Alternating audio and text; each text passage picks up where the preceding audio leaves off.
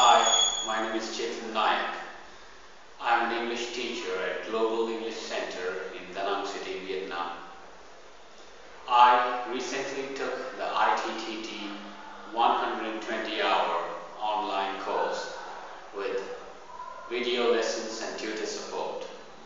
This course was really helpful to me to improve my teaching skills.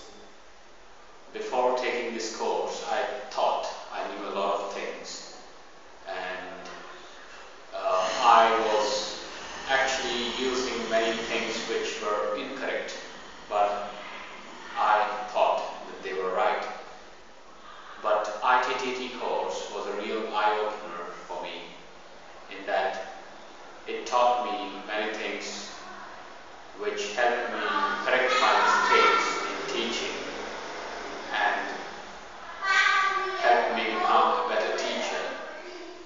The course is a very organized, systematic course which helps you learn things from the easiest to the most difficult ones. And it covers all aspects of teaching and it also covers some aspects of grammar and vocabulary. So I think this course is really good and I recommend this course anyone who wants to become a better teacher and who wants to make